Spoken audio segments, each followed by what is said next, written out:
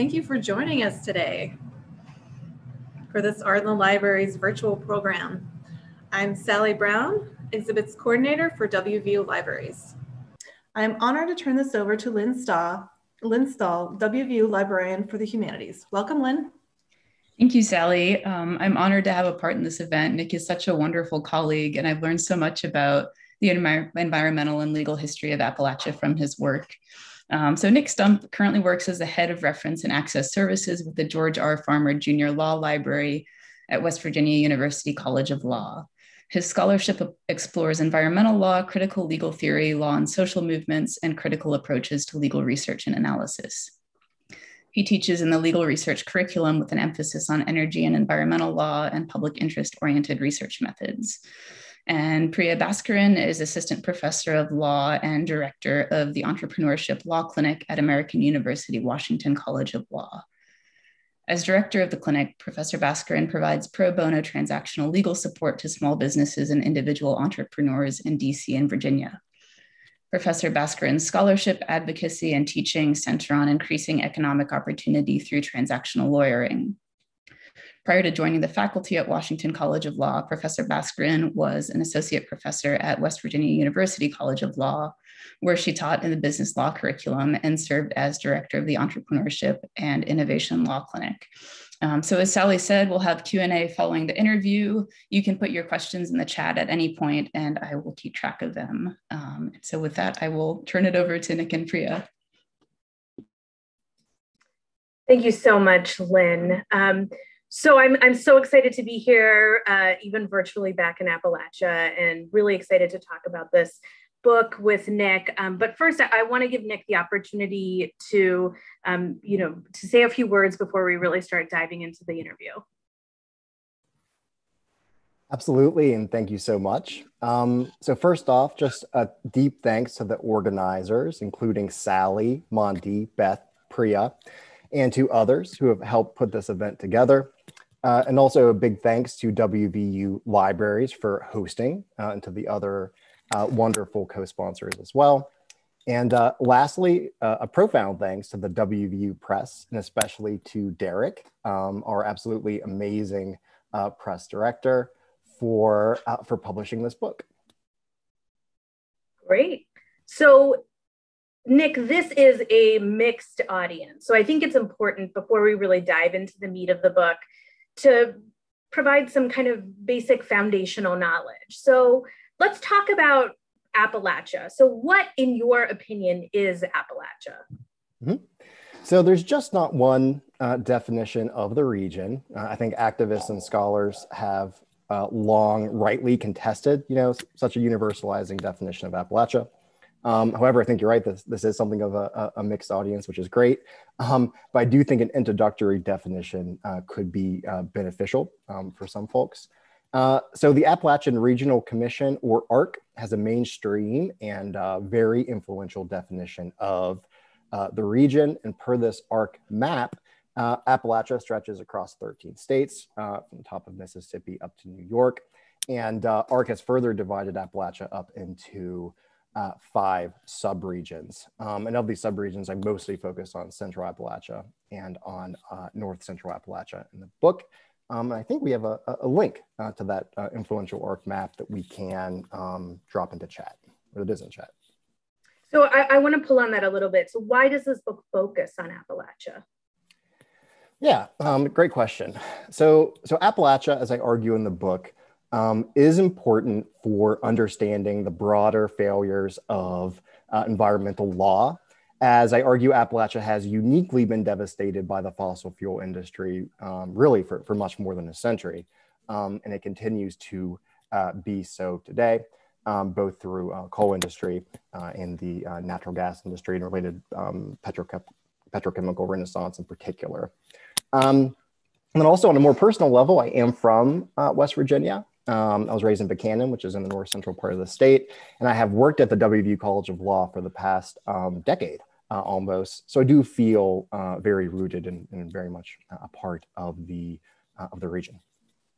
Okay, so is this book like a personal passion project, or why did you write this book?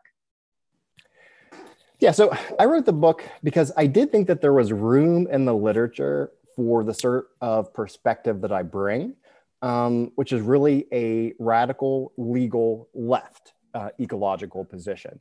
Um, I do think it's probably fair to say that most US legal environmental scholarship is often more liberal uh, or progressive, and it is not uh, is not more radical, right? It's not, it's not situated on the um, the the uh, legal ecological left, right? Um, so that's sort of the perspective that I hope was fresh um, and needed, and that I brought. Okay, so I keep hearing the word legal. So is the book only for lawyers? Like, who is the audience? So yeah, so I would say that I, I hope that the book would appeal to an interdisciplinary audience. Um, so certainly environmental uh, legal scholars, folks on the uh, broad legal left, both in the U.S. Uh, and beyond, certainly Appalachian and, and rural studies folks, and um, uh, grassroots uh, organizers and, and, activists, sort of in a general sense. Um, but you know, that being said, as one special audience, I, I do think that the book likely has real value for law students, uh, lawyers, and activists who, who are particularly interested in environmental issues um, and deeper social change, right? And, that, and, that's just because the book talks about lawyering and grassroots movements um, in a sort of unique way that is, you know, often not discussed in traditional U.S. law schools or in traditional environmental practice.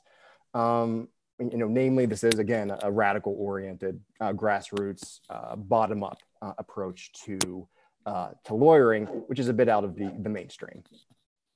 Okay, so what would you say are your main takeaways for this for this audience for your readers? Mm-hmm.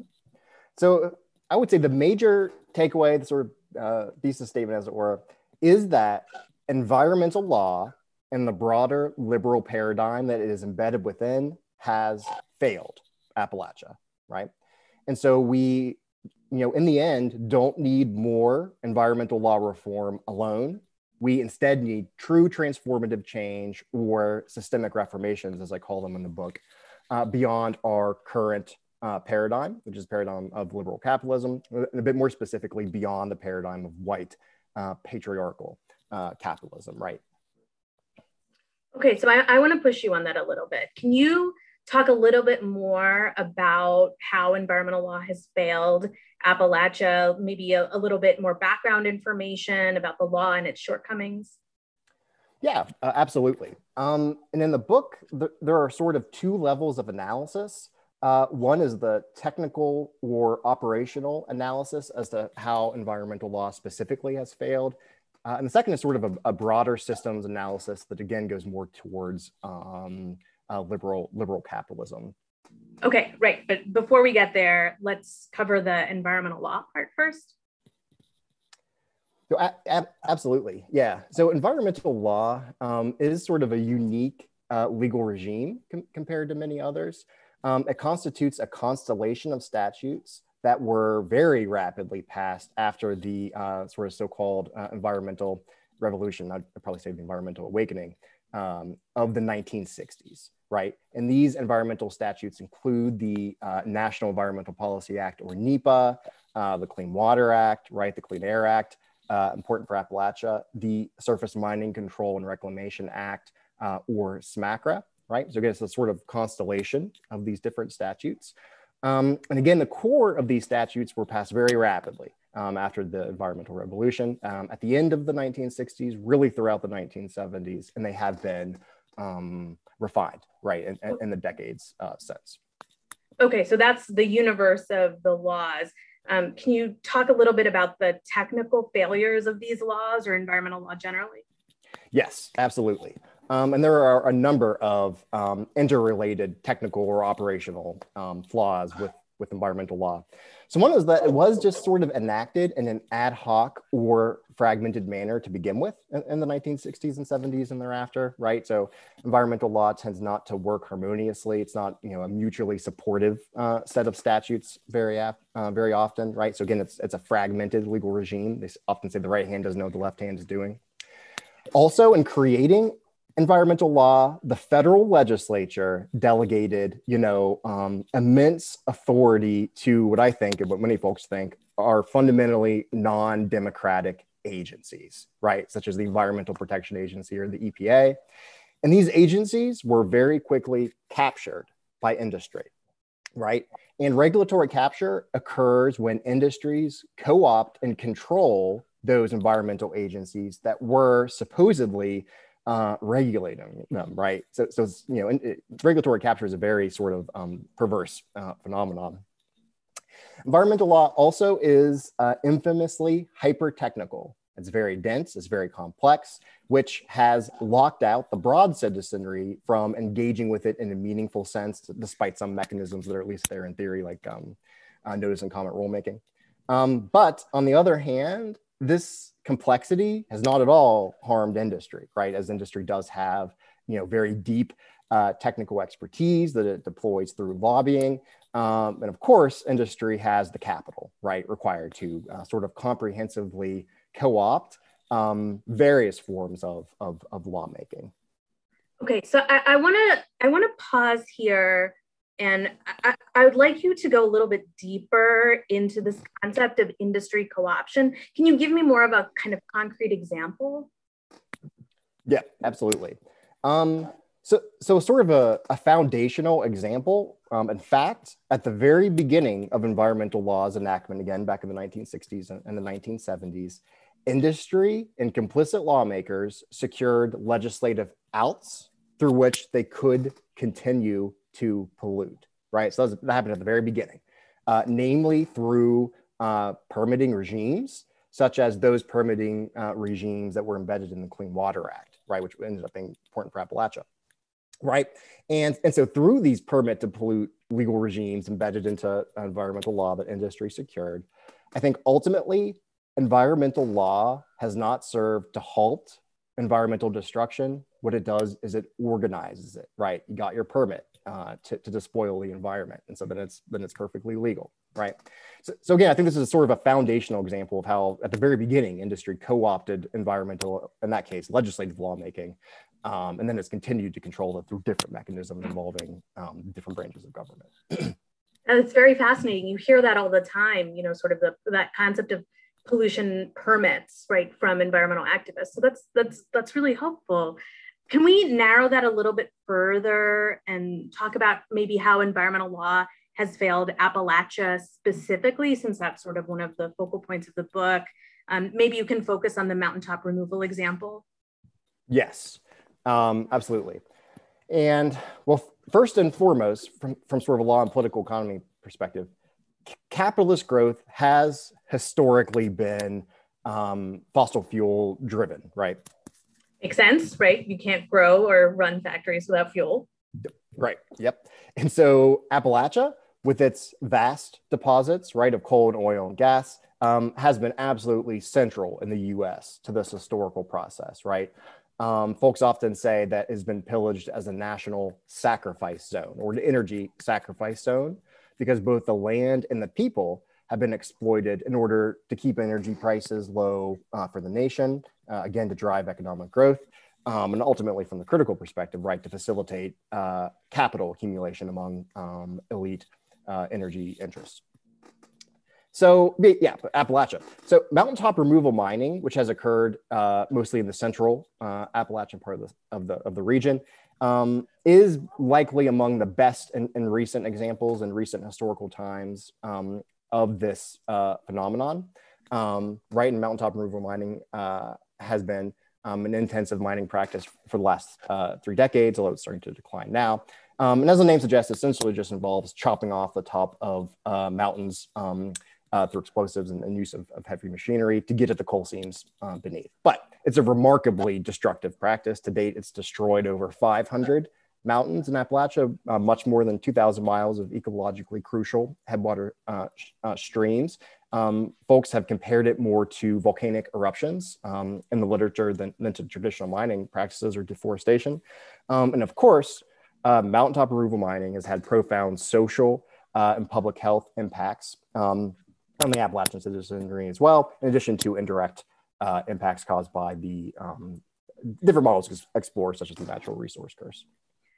And so, for anyone who's unfamiliar with mountaintop removal uh, and can see Beth Toren, her background is actually a mountaintop removal site. So, you can see how huge and decimated that really is. Um, so, let's go back to this whole concept of environmental law. I mean, you talked about all of these different statutes. I mean, you called them a constellation. I mean, and doesn't SMCRA specifically address mountaintop removal? Yes, and that's such a good question. Um, so, in fact, mountaintop removal mining was not banned by federal environmental law as it should have been. And in fact, uh, Appalachian activists and organizations worked very hard to try and ban uh, surface mining altogether uh, in the 1960s uh, and 1970s, but they were, you know, tragically, ultimately um, unsuccessful with those efforts. And instead, SMCRA, or the Surface Mining Control and Reclamation Act, uh, was passed, um, which is a very watered down uh, act, right? Did not, uh, again, uh, ban surface mining at large. And uh, among other things, it was, it in the end permitted mountaintop removal uh, mining, right? So, yeah, so ultimately, mountaintop removal mining is governed by a permit to pollute legal uh, regime, right, that, that we were mentioning um, earlier, uh, namely by permits that have been issued under the uh, Clean Water Act, um, and then the actual MTR or mountaintop removal mining operations are, are, governed by a very complex set of um, cooperative federalism type environmental laws, including uh, SMCRA um, and the um, National Environmental Policy Act or NEPA, right? So, but basically, in sum, mountaintop removal mining occurred in the first place, right? That it has even happened um, and wasn't banned by uh, federal um, environmental laws as Appalachians wanted to be is a is a profound failure in and of itself, right? Um, and an exemplar of of, um, of of what's wrong with environmental law. Okay, so again, I'm hearing that the statute doesn't provide broad enough protections, and then sort of kicks the can down the road to these like permitting agencies, right? Which again is just this non-democratic agency issuing permits that are actually harmful. Yes, right. Um, and then there's a second level failure in Appalachia as well, right? Um, that's why, again, it's such a good case model for the failure of environmental law in the US, because mountaintop removal mining is unique in that the environmental laws that we have on the books, that again, as, as I argue, and many other folks have argued too, I'm thinking about Professor Mary Wood off the top of my head. Um, so the environmental laws, which were deeply flawed to begin with, were not then enforced, even, right? The law in the books were not enforced by the federal and state agencies at issue, such as core agencies, uh, including the US Army Corps of Engineers and, um, and state agencies uh, to which authority have, has been uh, delegated, including um, the West Virginia Department of, of Environmental Protection. Okay, so I, I have to stop you right there. As a lawyer, I'm hearing enforcement issues, right? Which means that your agency can be sued if it's not doing its job, right? So isn't that the solution? Yes, also, also such a good question. It, but what's happened over the course of decades is that when Appalachian environmental organizations, in tandem with uh, legal organizations, brought suit in federal Appalachian courts uh, to force agencies to enforce environmental law, very often over the decade, key federal again, Appalachian appellate courts ruled in, in favor of industry and what's now an infamous string of um, litigation losses for, uh, for Appalachian environmental plaintiffs. Um, so, you know, the, the environmental plaintiffs certainly um, didn't lose every time, but it was, you know, they, for, for decades, they, there were really a string of losses um, that were uh, devastating and absurd on their face as the law clearly supported the environmental plaintiffs against the industry. How did that happen? Yeah, I mean, again, uh, such a fantastic question. And that kind of allows us, I think, to return back to the central critical legal theory arguments, right? Or the type of critical theory that I draw on, which is um, uh, more of the Marxian tradition, right? So, again, recall that capitalist growth has historically been fossil fuel driven, as broadly supported by the state in the US, right? So, it's not just these captured environmental agencies, such as uh, the EPA and so forth, that have supported this historical process. Um, but it's also been the state uh, and federal courts uh, in Appalachia that have very often, not always, but very often, worked together historically to support this exploitative fossil fuel paradigm that again has devastated the land and people in our uh, in our region. Wow. Okay, so I'm I'm I'm really understanding this captured agency, captured courts, captured you know governance in general. You know, I'm I'm getting a sense of why Appalachia has really been called this energy sacrifice zone. Yes, right, exactly. Um, yeah, I mean, essentially, the, the, the nation, uh, you know, for more than a century and a half, has needed our natural resources in order to drive uh, economic growth, supposedly to the benefit of all. Uh, and so the courts alone can't and won't stop this process, right? I mean, and this again, this historical process has had incredible uh, historical momentum. Um, it involves quite a bit of extensive fixed capital and fossil fuel uh, industry infrastructure and so forth, right? And so, you know, these environmental citizen suits alone can't change the uh, can't change the, the liberal capitalist paradigm, essentially, right? Um, and again, should emphasize there's been much great work done from time to time. There has been environmental uh, legal victories, um, but the fact of the matter is the fossil fuel industry persists. Um, right, mountaintop removal mining lingers, despite the fact that it has rapidly declined in the last decade. Um, there's just a great article uh, last week, I think, in Salon about how new mountaintop removal mining permits continue to be um, handed down.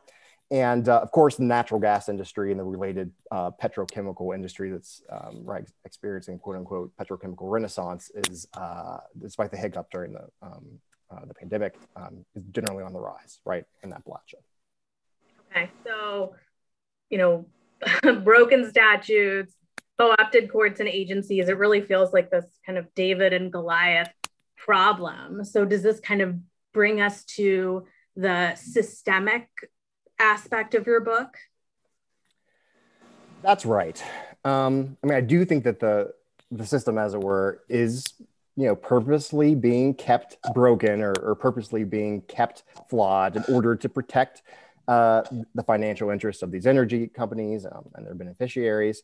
Um, and again, this really is a central insight of critical legal theory, or again, the type of, of critical legal theory that I draw on, which is really in the ecological uh, Marxian uh, tradition, right? Because not, not all critical legal theory um, uh, goes there. Um, but again, most basically, we can't redress these core flaws um, alone through more environmental law reform from within the system, right? As the system itself is defined to is designed to benefit the status quo, right? So again, as I argue, I do think that we ultimately need a strategy leading us towards transformative change, or again, as I discussed in the book, uh, systemic reformations. Okay, so let's talk about some of these um, systemic reformations, especially in context of what you're bringing up as sort of like the critical environmental legal, you know, commentators' perspective. Yeah, so so we, um, as in you know, many critical environmental legal commentators, are again folks who are situated on the ecological legal left. Um, we do tend to call environmental law liberal environmental law um, because again, it is it is merely embedded within and ultimately supportive of uh, of liberal capitalism. Right? Again, central critical argument. Um, so, in contrast, uh, through this critical legal perspective, that's again more in the Marxian tradition, um, I argue that liberal capitalism is not just unjust, right, as it exploits uh, labor and so forth, but that it ultimately is um, ecologically uh, is ecologically unsustainable, right? Okay, so I want to push you on that a little bit. Why is it unsustainable?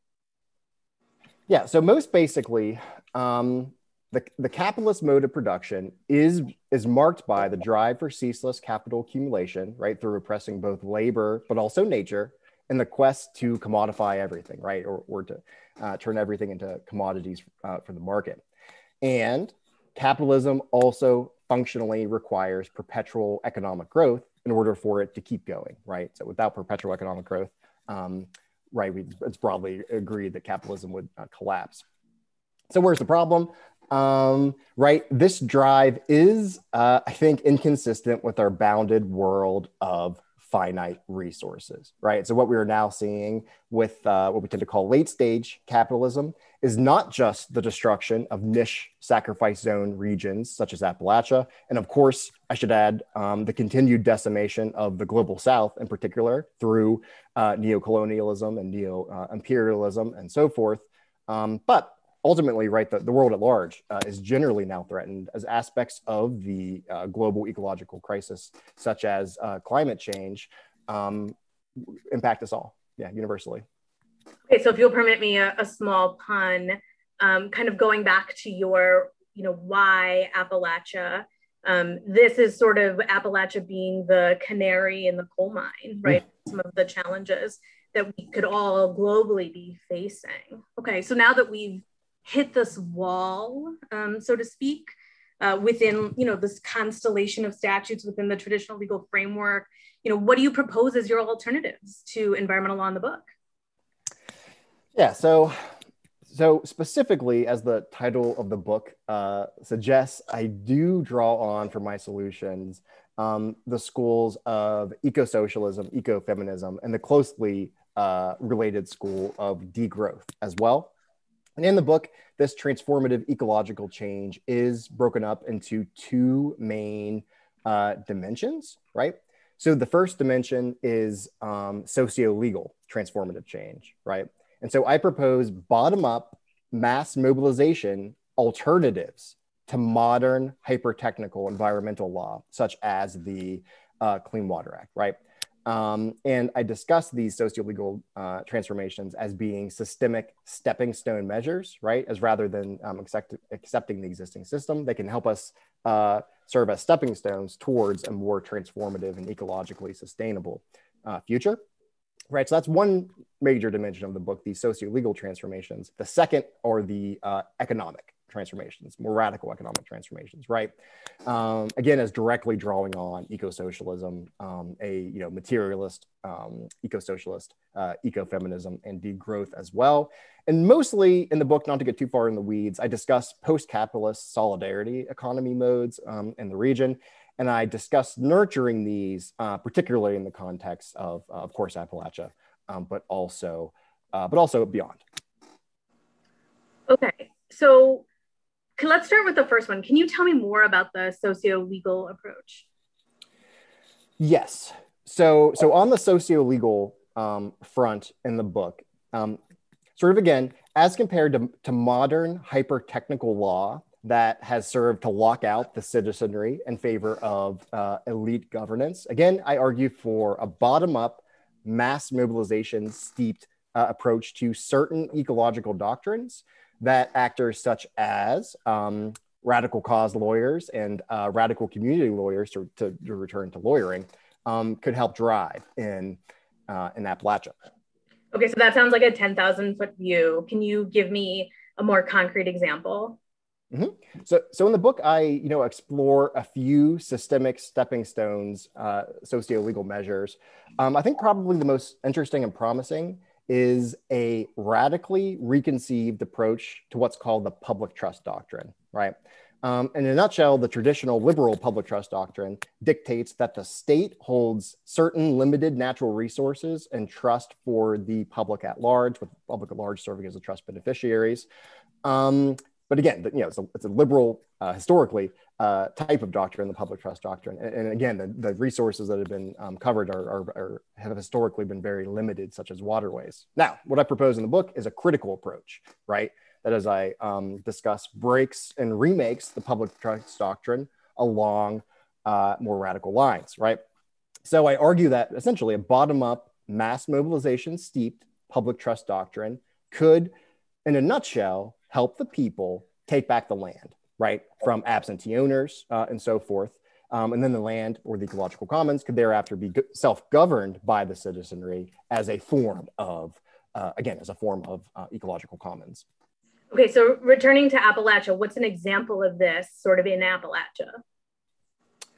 Yeah, so as the as the concrete example um, that I discussed in the book, uh, so Appalachia, um, as many folks um, here I'm sure know, uh, infamously has a mass absentee corporate land ownership and also abandoned uh, mining uh, land problem, right? As has been um, uh, studied and chronicled for decades now, um, such as in you know the initial study, I think it was called "Who Owns the Land." And I think we have a link to either that study or um, some follow-up studies that we can drop into chat.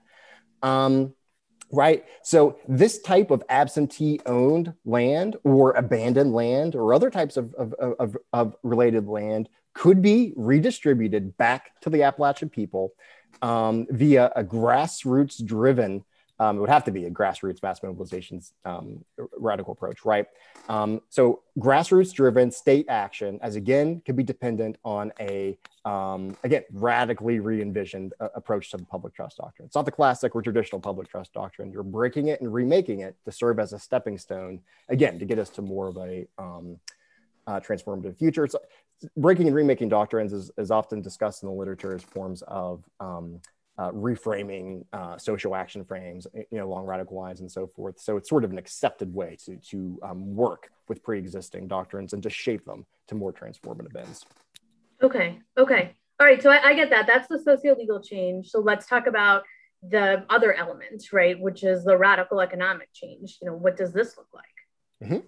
And, and ultimately, the you know the socio-legal transformations are designed to help um, support right the radical economic change. They do work together, um, or as I argue in the book, as you know, most critical commentators would, would argue.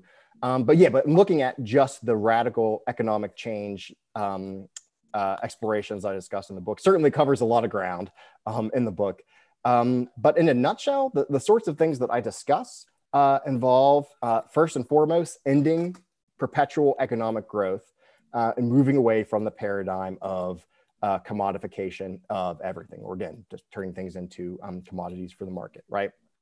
This critical approach instead entails uh, production, not for the market, but for what's often called, in, in critical language, use value, right? Or production based on things that we actually need in our communities that we dem- democratically determine that we need, right? Things such as, for instance, food, medicine, housing, infrastructure.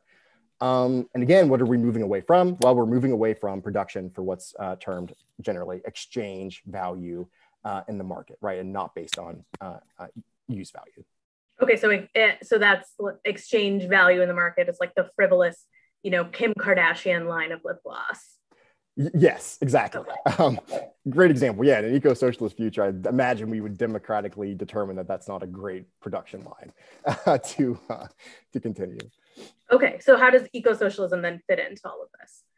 Yes, so eco-socialism. Um, I should say that these are varied schools, so I'm only drawing on certain uh, strains of, of both um, eco-socialism and ecofeminism and degrowth, in fact. Um, but again, sort of in a nutshell, eco-socialism and, and, the sort of strains of eco-socialism that I discuss in, in the book do involve uh, collective ownership, right, of the means of production, not private ownership, and collective ownership can be cooperative, public, and so forth um, and also multi-scale democratic uh, economic planning, right? And this is uh, most critical, uh, you know, legal left ecological commentators would agree, is required to most immediately eliminate fossil fuels, um, right? Um, seize them and, and, eliminate them as production lines and transition to a wholly clean uh, post-growth uh, energy system, right? Um, and and I, I, I, and again, most you know, critical ecological commentators think that this could only be accomplished on the sort of cl- climate change timescale that we have via a, a, very swift transition to democratic economic planning modes. Um, so that's eco-socialism. Just a bit on on uh, on ecofeminism, if we have the time. So ecofeminism, um, again, very varied uh, school.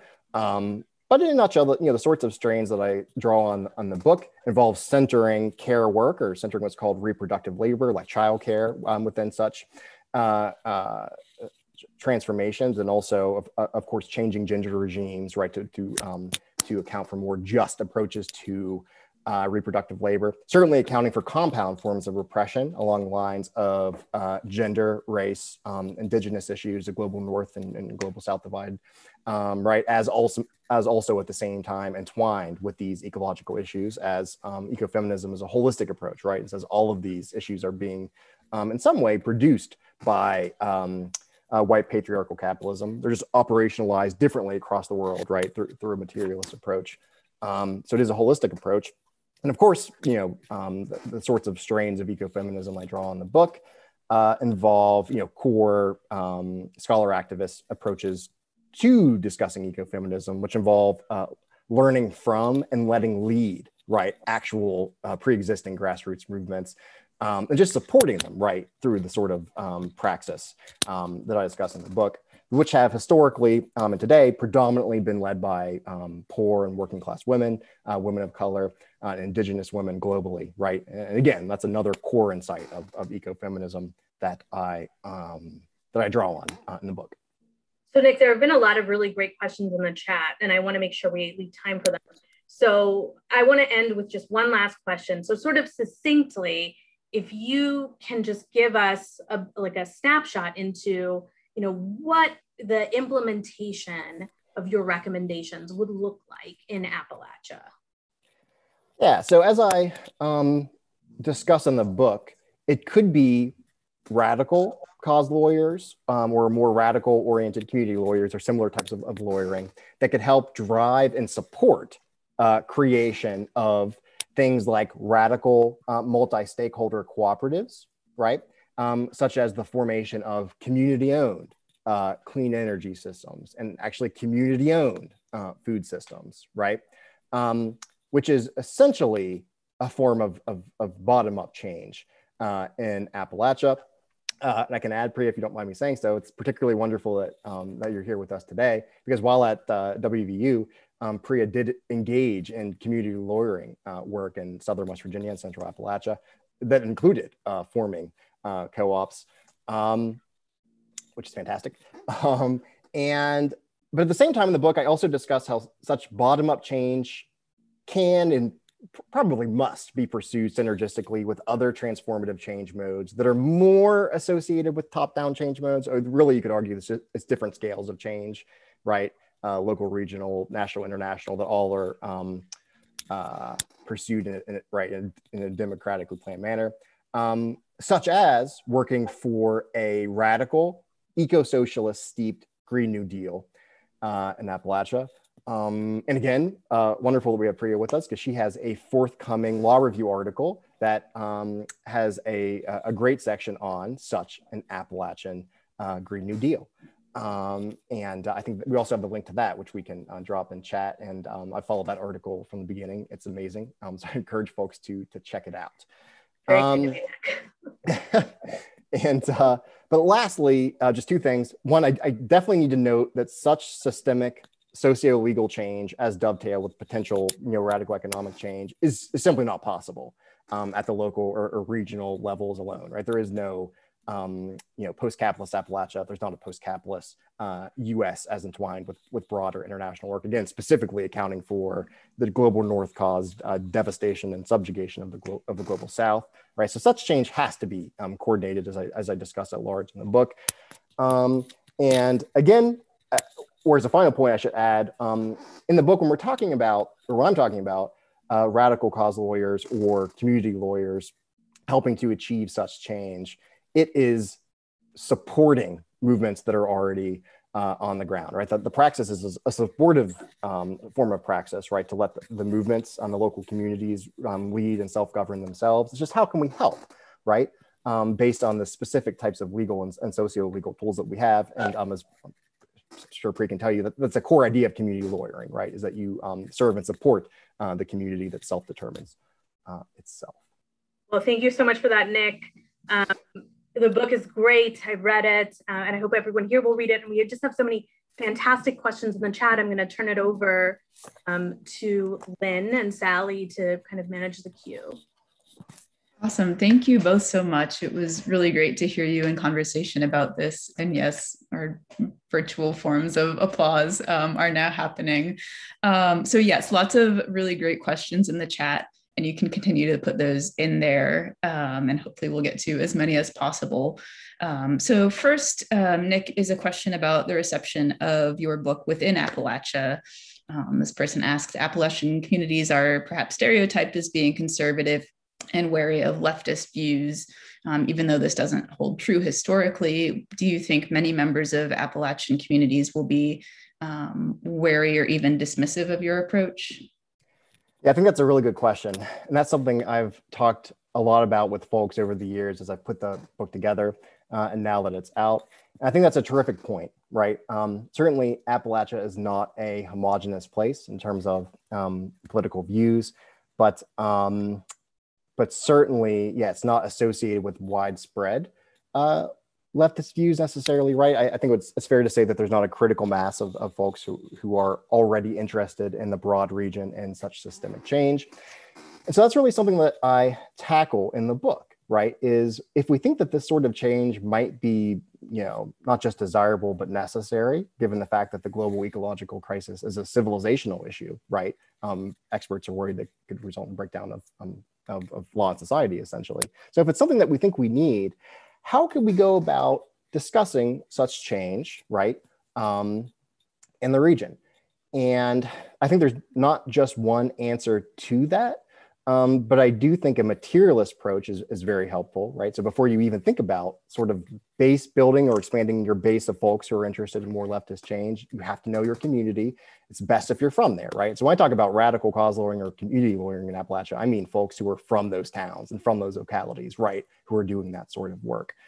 Um, then it's just all about how perhaps you frame the issues, right? Um, based on like a materialist approach, how you know a community, what they might be most interested in.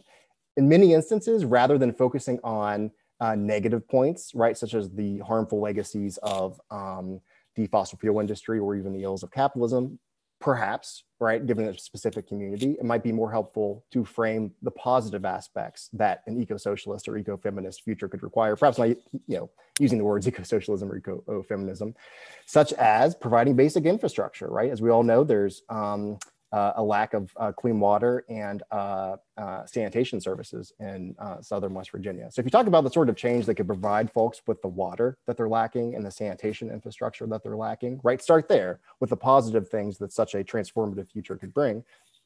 Perhaps we could base build, perhaps we could reach more folks right through that type of language. And again, have to emphasize radical community lawyering involving lawyers from those places, right?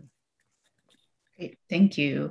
Um, the next question is sort of two combined questions about corruption. Um, so, over and above the issue of regulatory capture, does your book address whether corruption in Appalachia is a problem as well? And then a follow up from someone else that I've sort of paraphrased here. What are we defining as corruption? Are, are big bosses using legal loopholes and workarounds corrupt, even when they're acting lawfully? Um, and what does it mean when we democratically elect someone as governor who's um, sort of embroilment, including things like unpaid taxes, is well documented.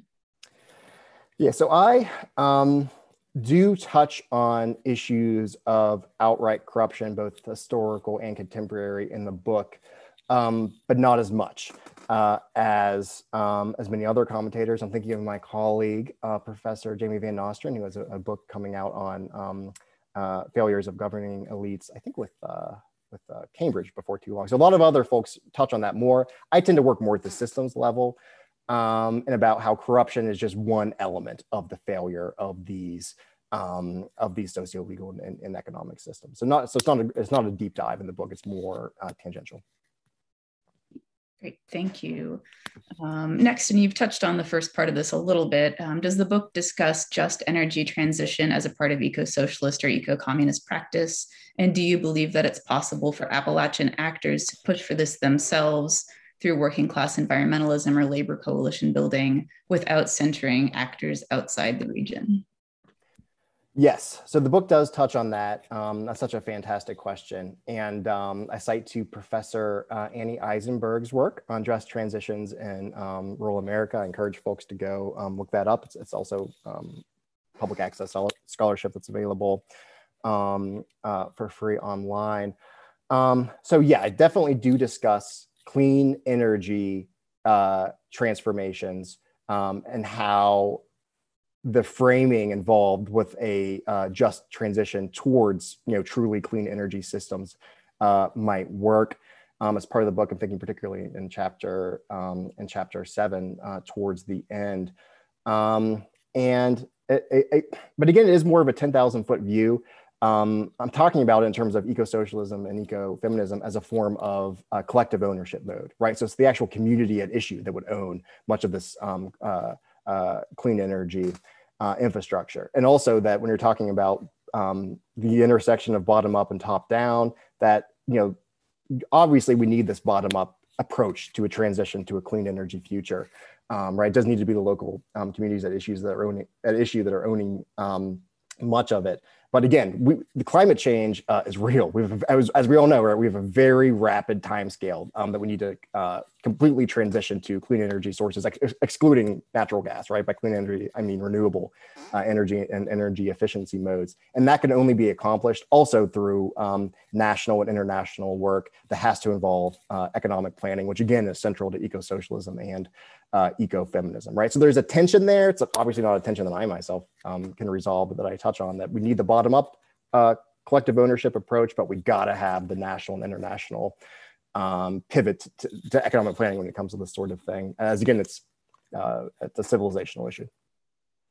Um, great. And the next question is about sort of intertwined um, social forces and activist movements. And, and so this person asks Are there advocacy alliances possible between activists in Appalachia and BIPOC communities who decry um, fossil fuel racism, as in the Red, Black, and Green New Deal? How does racism function as a divisive force in environmental movements? Yes, that's. I think that's a great question. Um, Priya, you might have more to say, but just because your your latest article is is sort of on that specifically. Um, but if not, I can give it a shot too. No, sure. I, am happy to weigh in on this. I think that there has been, um, so as you know, there are a couple of things that I, I want to make sure to touch on. The first is that there has been a lot of solidarity, at least on the grassroots level, between communities that are impacted, you know, in like perceived white spaces, um, you know, and communities largely of color in um, you know, in urban spaces. So my article kind of talks about two communities that are greatly impacted by this within Appalachia, within West Virginia specifically, which is demographically the whitest state within Appalachia. But the first communities to be impacted by infrastructure racism are actually communities in McDowell County that were historically African American. And we see the same structural forces legally that created these sort of like deprivation zones, you know, divestment zones in both places. Um, and, you know, a- another really fantastic book that the press has come out with, I'm Afraid of That Water, sort of talks about,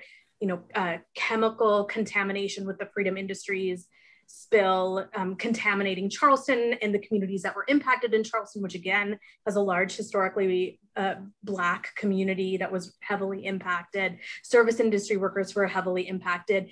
And it was happening sort of very closely to Flint, sort of breaking in the public news. And there was a lot of solidarity movements and efforts happening behind that.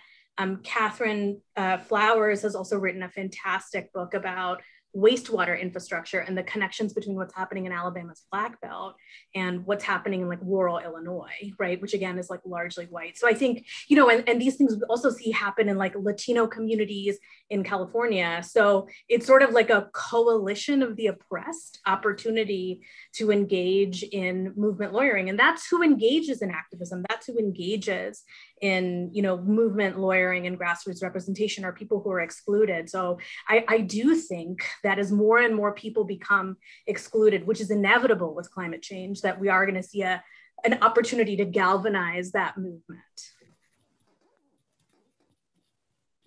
Great, thank you both um, for that one. Uh, next question Do West Virginia resource barons um, retain the political power that they had in the Blankenship Benjamin era?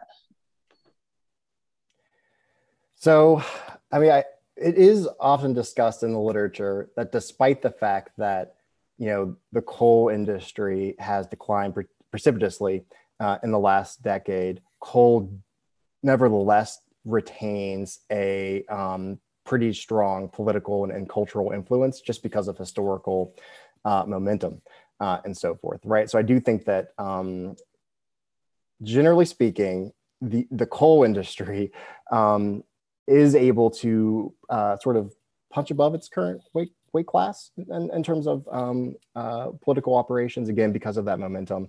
And um, and of course natural gas um, is something different. Um, but uh, but it's certainly on the rise um, and is um, moving forward going to be one of the major uh, environmental concerns in the region. And certainly they have that that industry, uh, as as is chronicled in literature, does have uh, strong uh, political uh, and lobbying capabilities. Right, I think that's fair to say, and that's been well chronicled. Yeah. So to piggyback off of that, also, I mean, Nick uses coal as an example in the book because it, there's such a it's such a long-standing industry in the region, and there's like a wealth of resources, you know. But again, like the freedom industry spill happened like January 2014, you know, and the ability to punch above its weight class in terms of you know who was involved in governor Tomblin's uh, group to make the law happen about what the safety precautions were. Environmental activists were explicitly excluded but industry lobbyists were you know part of that plan. And then when the legislature turned like changed over you know they completely gutted what was then called like the people's bill that provided all these protections. I mean this is this is 2014 you know? So this this is all like still recent and relevant and important to these communities. And that's the largest city in the state you know? Um, so it i think it really speaks to the volume of the problem. That's a good example um, next question. What role do you see municipalities playing in reclaiming the ecological commons? Do you think there's a path for libertarian municipalism to radically change energy systems? Or is this a process that would necessarily need to occur outside of any structure of governments? That's a really good question. Um, it's not something that I have a ton of expertise on um, or touch on in the book, other than more of a theoretical or exploratory level. Um, but I do, I mean, I, as I generally argue in the book, I do think that uh, local approaches, which could include uh, municipal government approaches, um, certainly do have an important place in any movement towards uh, transformative change. But I, but again, generally, as I argue in the book, anytime you're working with a pre-existing system, right, um, and you're and you're talking about even reforms from within that system, you just have to have an eye on transformative change, right? Um, not just what one specific reform or change within that system can do, but what's your eye towards this the systemic stepping stone measure, right, to, to, to beyond the system. And I think that applies locally as it applies regionally. So again, as, to the extent that I talk about it, it's that sort of thing in the book, as it's a bit outside my wheelhouse. Yeah but I, I will say that it has tangible, practical value. I mean, uh, one of the most beautiful things about West Virginia is the sort of kind of mountaineer spirit, right? Of like, there, um, I used to have all of these students who would say, I'm very politically conservative, but I truly believe it government provided wastewater infrastructure and community owned broadband, right? Which which just sort of speaks to the this feeling of communitarianism that does exist.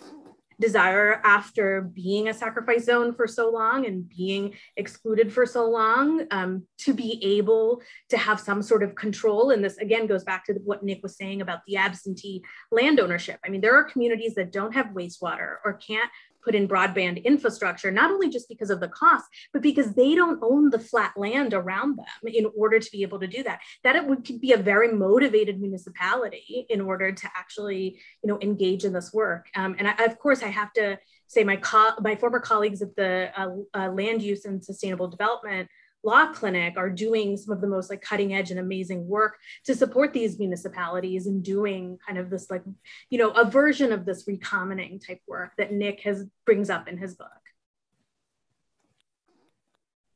Thank you. And then next question is sort of circling back to things you've touched on, Nick. Um, but who exactly is at the bottom of bottom up change? That's, yeah, that's a really good and interesting question too. Um, so again, I tend to use a materialist approach. Um, that's in the Marxian tradition. And through that approach, you just have to take the specific communities, localities, regions as they actually are, right? Um, so the folks who actually live there, what the specific political economy is like there, right? And when you're talking about bottom up, where I would tend to call more bottom up type change, um, it would be, again, the folks who, who who happen to be in the specific areas um, and what they might need to actually achieve something like a radical multi-stakeholder food cooperative or something like that, right? So I think the bottom up differs from place to place, who those folks might be, the different sort of um, uh, social, political, and economic regimes that have been there, um, right? So you always have to account for that.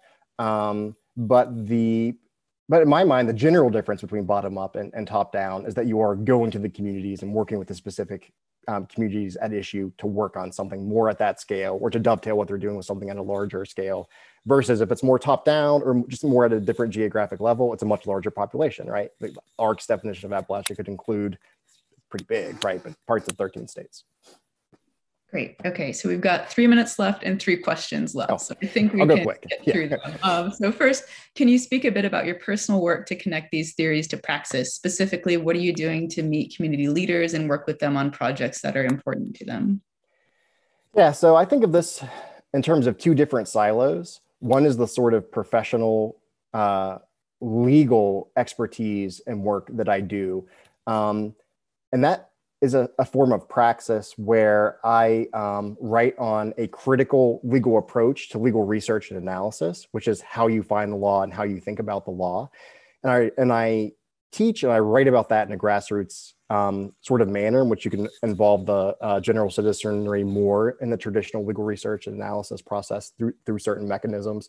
So I've worked with clinics uh, and, uh, and students and so forth who are interested in public interest work. And that's my sort of uh, professional praxis, right? Is, is again a um, critical legal research approach that supports, that really can support public interest lawyering. The second is more personal work that I do completely separate from work uh, involving activism.